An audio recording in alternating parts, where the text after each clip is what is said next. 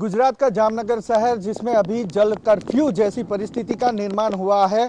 बीते 24 घंटों के अंदर यहाँ पर 15 इंच जितनी बारिश गिरी नमस्कार मैं आपकी सत्य सिंधुजा हर विषय में हर क्षेत्र में भारत विश्व गुरु है। सिद्ध चिकित्सा पद्धति विश्व के लिए भारत का अद्भुत वरदान है।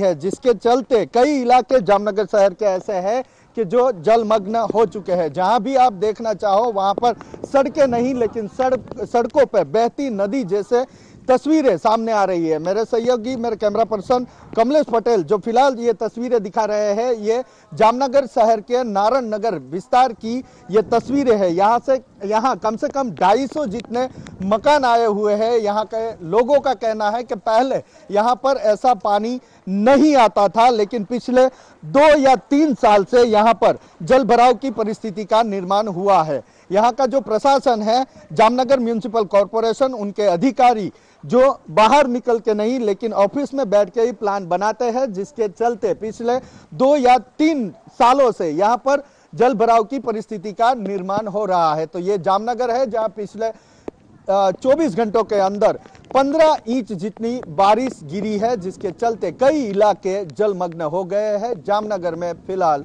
जल कर्फ्यू जैसा माहौल दिख रहा है। कैमरा पर्सन कमलेश पटेल के साथ मैं Hiren Rajguru ABP news Jamnagar. For exclusive and insightful videos, subscribe to our new channel ABP Live Premium.